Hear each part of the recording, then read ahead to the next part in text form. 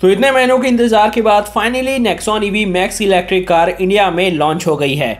इस ईवी में टाटा कंपनी ने काफ़ी सारे चेंजेस किए हैं। इसकी प्राइसिंग भी अब पहले से ज़्यादा बढ़ गई है। नेक्सॉन ईवी मैक्स के बारे में आपको सारी इन्फॉर्मेशन इस वीडियो में मिलने वाली है। सबसे पहले बात करते हैं लुक की। तो लुक यहाँ पर इसका कम्प्लीटली न्यू है। अब ये पहले से भी ज़्यादा अट्रैक्टिव लगती है। यहाँ पर अब हमें five spoke diamond cut alloy wheels मिलते हैं। और अब नेक्सॉन ईवी इन तीन कलर्स में अवेलेबल है। सिर्फ़ बाहर से ही नहीं, बल्कि अंदर से भी ये कार बदल गई है। इसका इंटीरियर बिल्कुल ही न्यू है। प्लस इसमें अब हमें वेंटिलेटेड सीट्स मिलती हैं।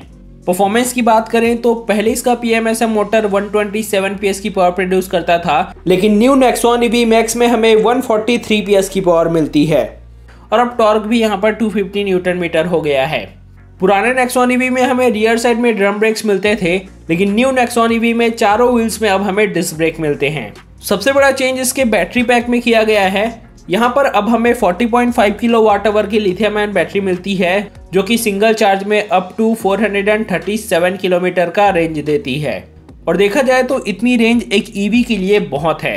अब नेक्सॉन ईवी मैक्स में हमें चार्जिंग टाइम भी फास्ट देखने को मिल रही है। पहले नेक्सॉन ईवी में हमें 3.3 किलो वाट आवर का चार्जर मिलता था, जो कि 15-16 घंटे में नेक्सॉन ईवी को फुल चार्ज करता था।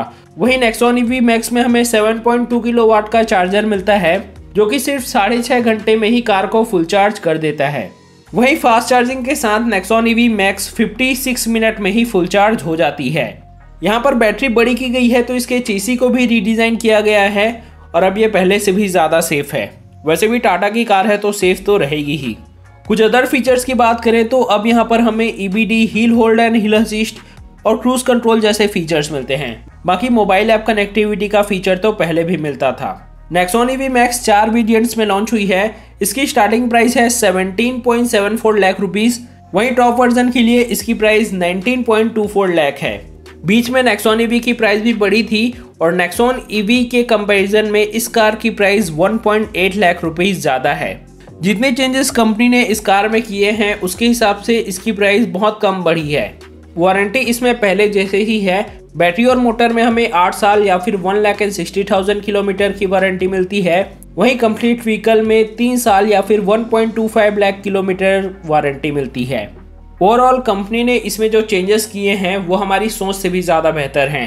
आपको नेक्सोन ईवी मैक्स कार कैसी लगी? हमें नीचे कमेंट सेक्शन में ज़रूर बताइए। अगर आपका इस कार के रिगार्डिंग कोई सवाल है तो आप नीचे कमेंट सेक्शन में पूछ सकते हैं।